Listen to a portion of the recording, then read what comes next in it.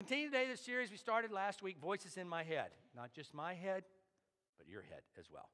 Uh, these voices, remember we talked about them last week? These are these voices that I, I said it last week, and, and, and, it's true. The biggest lie I've ever been told is sticks and stones may break my bones, but words will never hurt me. Lie. All right? And, and so what happens is sometimes the, the problem with the voices, as we talked about last week, is the voices aren't unknown, they're known. They're usually from people we love and we care about, or people who love and care about us. And sometimes they do it intentionally to harm us, but, but most times, most of the time, it's that unintentional. But those voices just keep playing in our head over and over and over again. And what happens is those voices stop being their voice and they become our voice. And we, we remind ourselves we're not good enough, we're not smart enough, we're not gifted enough, we're ugly, we're stupid, we don't matter, we have, why do we always? Just plays over and over. And it makes the problem with that is it makes it hard to hear the voice of God saying, I love you. You're fearfully and wonderfully made. You're beautiful. We can't hear that voice because all these other voices are going crazy in here. And we're learning you can't shut them up. They just keep talking. They're doing this. And you're like, Shh. but they keep going. What you have to do, and what we're going to start working on, is training ourselves to listen to the one true voice. That one voice that speaks truth into our lives. That's, that's constant. It's interesting. They're all talking, they're all speaking. It's about which one are you going to listen to? So we're going to talk about that today, and I want y'all to be thankful for the Thursday night service. We talked after the Thursday night service, like, ooh, I need to make a few changes. So, one of the changes. Okay. Did your kids ever do this? My kids, I loved this when my kids were growing up. When they were smaller, my kids would come out in a costume. We had tons of costume in our houses, and they would come out and go, You don't know who I am. and I'm like, Oh my gosh, I don't know who you are. And they're like, Yeah, yeah, yeah. And then he'd do this I'm Jacob right? And they'd wear that mask, they'd put that mask on, and they they thought they were so funny. And they're like, they don't know. And then they had, we had the big Hulk arms and the big Hulk hands, and they'd walk around, smash, smash, smash, smash. I'm Hulk. Shh, no, I'm Jacob. I'm Jacob. Right? I love that. Except for it's true about us. We wear masks, don't we? to hide who we are. And so the first thing to do to stop listening to the voices is take off your mask and stop pretending. See, the story's told, and we talked about it last week. I, we're not going to read scripture for you today. There are several scripture passages I'm going to talk about, but I'd like for you to do something challenging. Go home and read it for yourselves. Actually, open the Bible. If you open it on your phone, it is just as spiritual as opening the book. But I'm going to talk to you about from Genesis 2 and 3 and then another scripture passage from Genesis later on. But just read it on your own later on to think about it. But in Genesis chapter 2, something really incredible happens. And the scriptures tell us that God created, God took dirt. And that God took this dirt and then God formed a, a body. And that God breathed into that body and life began. And it said it was Adam or Adama that came, and literally the word means literally came out of the dirt, out of the ground. And so there's Adam and then it says that God looked for a suitable helper for Adam, and Adam, that God couldn't find a suitable helper. Brought all the animals by. What about the dog? What about the chicken? What about the pig? What, nope, nope, nope, nope. God says, there's nobody here that can, there's nobody. And so it says God put Adam to sleep and took a rib. So, guys, if you know, if you touch, it's fun to watch. Some of y'all start trying to figure out which one. I, I did this one time with some teenagers, and the girls are going, I'm like, guys, one rib you're missing, right? God takes a rib out of a man and makes what? You know why, you know why we call her woman, don't you? Because when Adam saw her, he went, Whoa, man. yeah, if you don't like that, you're going to hate the rest of the sermon too. All right. Okay? But it's like, but so God created Adam and Eve, and so there's Adam and Eve, and then there's this Genesis chapter 2, 25. You can go look it up, has this really interesting phrase. It says that Adam and Eve were both naked and they weren't ashamed. They were both naked and, and weren't embarrassed. And I spent some time at Duke this week learning how to preach again. It's one of the things they were helping me work on. One of the things they were working on is I don't say the word naked right. I'm like, yes, I do. I say it proper. Y'all are wrong. Um, and it's because they, they say the way I say naked makes you think you got no clothes on and you're up to something. And that the correct word pronunciation is shush. I got to get it in my head. naked? Is it naked? Naked, is that right? Yeah, it's naked. All right. That, and, and so we always take that to mean that they had no clothes on and they were naked. But actually, the Hebrew word, as we talked about last week, you should remember this, is the word for naked also means vulnerable. That Adam and Eve were naked in front of each other. That, that Adam knew everything there was to know about Eve, and he's good with it. And Eve knows everything there is to know about Adam, and she's good with it. You that way today with somebody? There's somebody that knows everything about you, like, yeah, we're good, right? No, no, no. Mm-mm, mm-mm, mm-mm. Hello. You know why? Everything fell apart. We talked about in the story that Adam and Eve, this wonderful, beautiful, good creation. And then we know the story. We talked about it last week. You can read in Genesis 3 that Adam and Eve, there's that discussion with the snake. Always a bad thing to talk to a walking and talking and snake. They talk to the snake. They eat the fruit, and the scripture says their eyes were open and they realized that they were what? Naked. All right, they were naked. They realized. All right?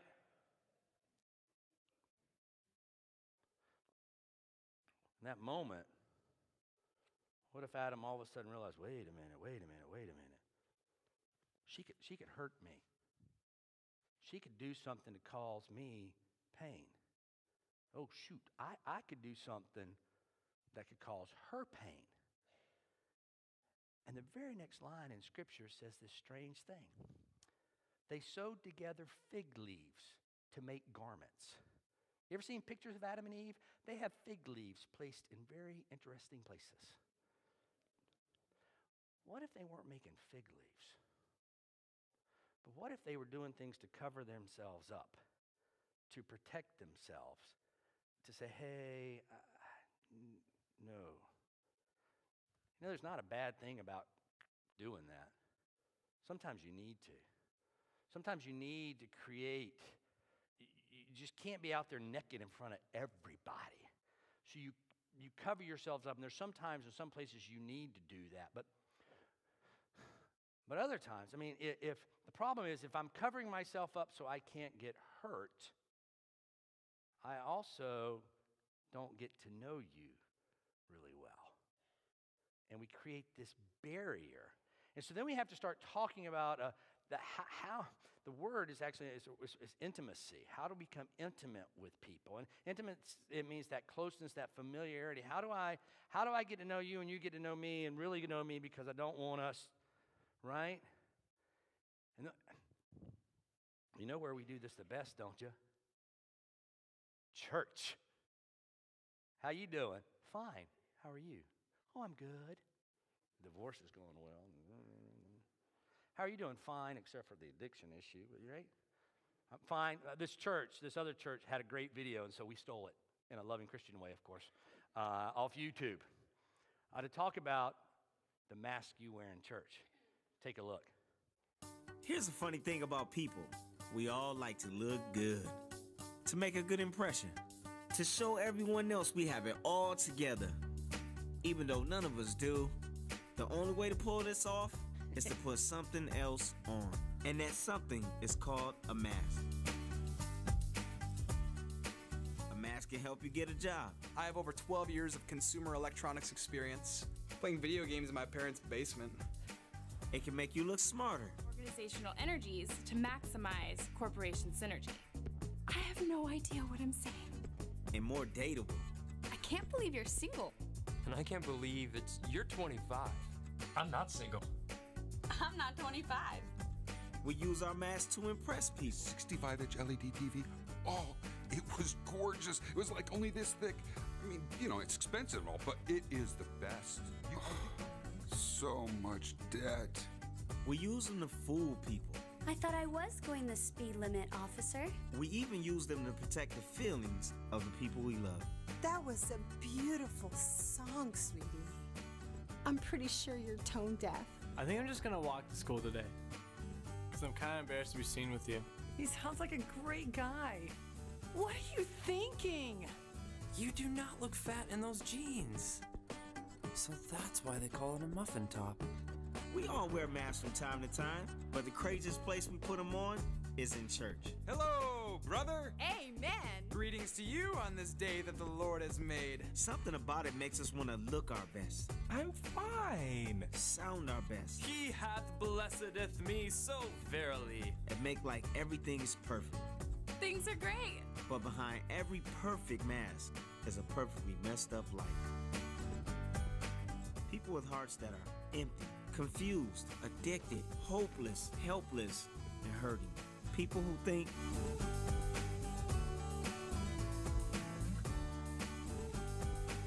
But here's the thing this is exactly the kind of life where God shows up.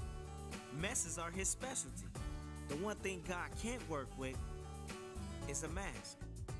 So around here, we have a saying it's okay. To not be okay. Nobody's perfect. But grace is available. We believe God doesn't love us if or because. He loves us anyway. We all like to look good to others. We like to make a good impression. But when it comes to God, the best impression you can make is to just be you.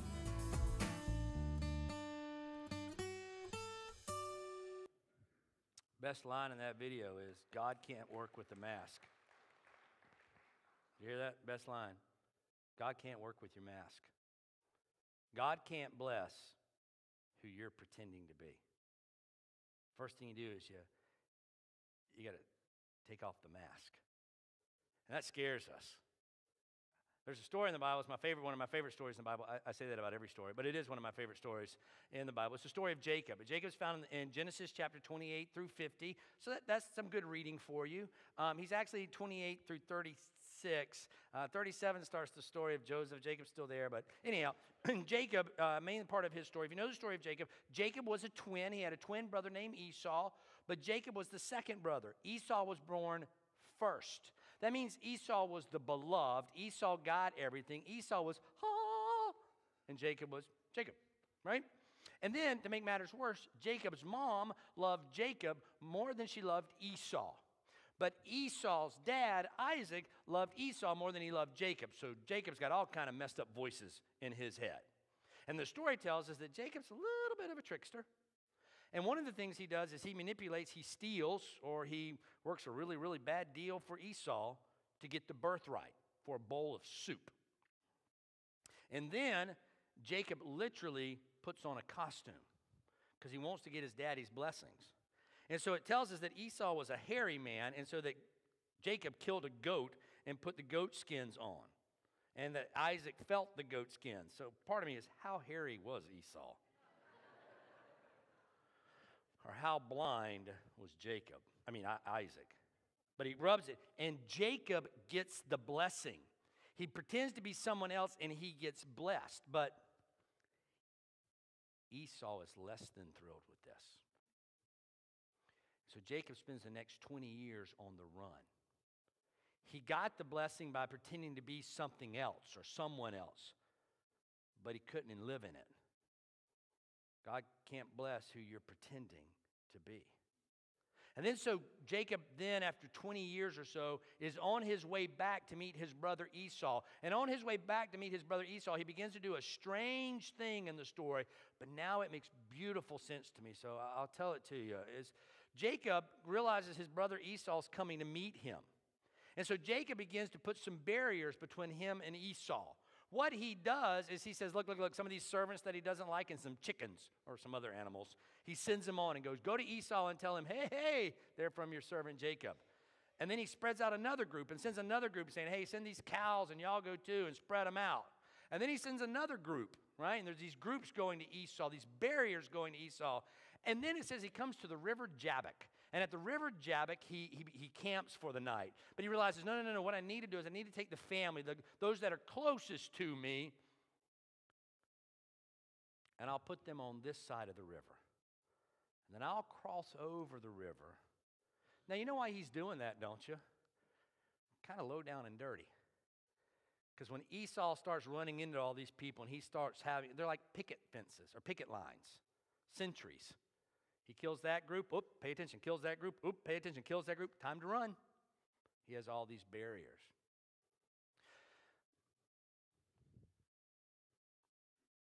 That's not necessarily a bad thing. Because you can't just get naked in front of everybody. And that's a really uncomfortable, awkward thing to do. There's, I was thinking about this. It's not really what the story's about, but it, but it made impression on me. Here, here's some people I sort of get naked in front of. That's y'all. That's Christmas Eve from about two years ago. I, I, I know some of y'all, I know, and, and I preach. I say things when I'm preaching, some are like, I wish you wouldn't say some of that stuff. Right? But, but I, I get, I, I, show you a little bit. I, I let you in, I let you in a little bit. Right? This is my covenant group. Yeah, this is us when we were in the Everglades. We did a swamp walk, brilliant. Two miles into the Everglades. You know what the poles are for? They said to push out in front of you. I'm like, why? They said, well, to see if there's a hole that you might fall into or anything that moves. Good. Uh, those are those are uh, those are we're all eight pastors in the Florida Annual Conference. We we we text nonstop with each other. We pray for each other. We we do a lot of stuff with each other. They they've seen a lot of me. They know a lot about me. There's a little bit of a mask with them, right? But but even in that group, uh, uh, David Miller, the dude in the red hat in the back, I probably talked to him two three times a week. He and I are really close. And Craig, the dude in the orange shirt, his wife uh, Dion and Chris are really good friends. So we do a lot of stuff together. So even in that group, I you know with with that group I'm here, but with them I'm here. Here's another group. That's, well, this group's actually probably seen me naked. Um, family. That's still my favorite family pots because that's pretty much my family chaos. And I love the dog trying to run to get in to the mix, right? Uh, but they know me. They live with me. They, they see everything. I hear somebody. This is, this is, we've been dating one month at this picture. All right, one month. I didn't get very naked in front of her because we were trying to figure each other out, right? This is last year.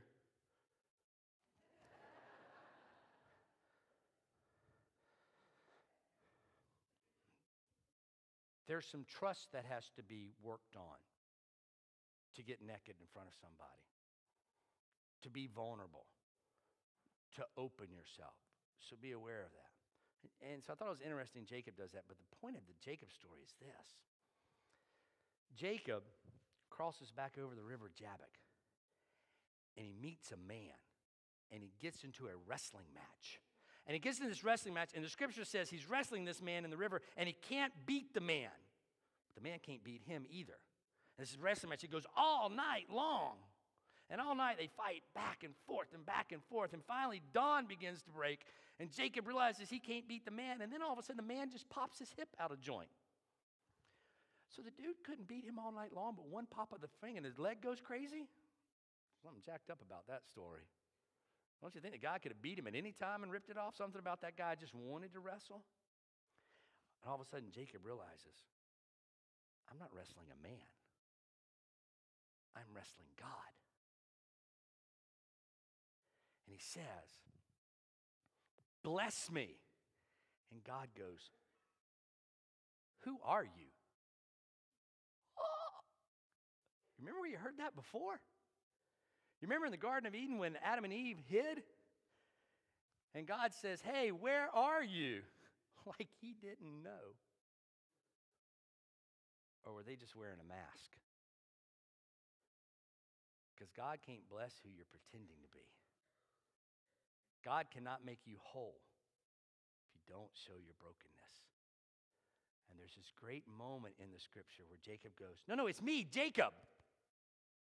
And God blesses him. Wow. Those voices in your head playing over and over and over again, they make you want to do this.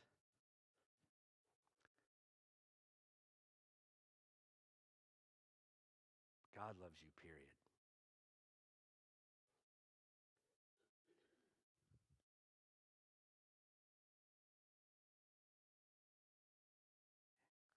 And then God loves you and wraps those arms around you and says, Oh, that's who you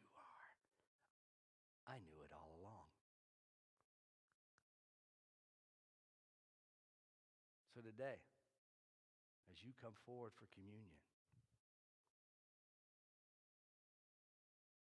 what's the mask you're wearing? Not with everybody else, but with God. What's that thing that you put on so you tell God, no, I'm good. We're good. We're good.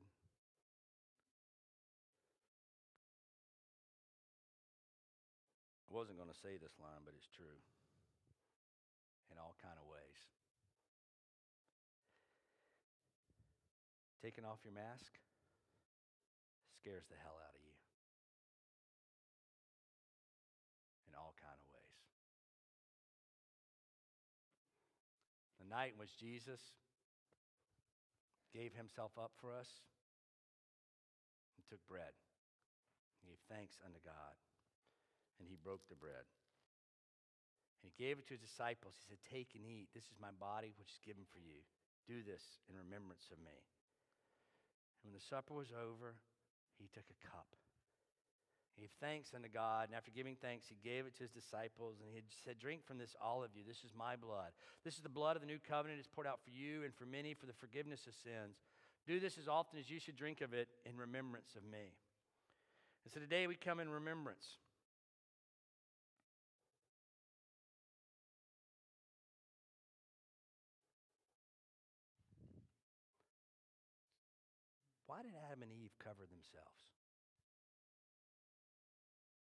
They were afraid. Who were they afraid of? God. Because they were afraid God was going to do what? See, the scripture says if you eat of that tree, you're going to die. They were afraid God was going to hurt them. Scripture doesn't say God was going to kill them. It just says if you eat it, you're going to die. Put that mask on because we're afraid. And God can't work with the mask. So, whatever it is you're wearing, leave it here. Let's pray. God, we just ask that you pour out your spirit on us gathered here and on these gifts of the bread and the cup and make them be for us the body and blood of Christ. As we feast on them, we might experience your love and your grace. And these masks that we wear is comfortable. It makes us feel safe for no one to know. The truth is, you know. We can't hide it from you. But wearing that mask with you cuts us off from your blessing. So we need courage today to be real with you. Say, God, here's my fear, here's my worry, here's my mask. May we lay it down so we hear your voice speak truth to us that you love us just as we are. And we'll go from there. We pray this prayer in the name of your Son who taught us how to pray. Our Father, who art in heaven, hallowed be thy name. Thy kingdom come, thy will be done, on earth as it is in heaven. Give us this day our daily bread, and forgive us our trespasses as we forgive those who trespass against us. Lead us not into temptation, but deliver us from evil. For thine is the kingdom, the power. Amen.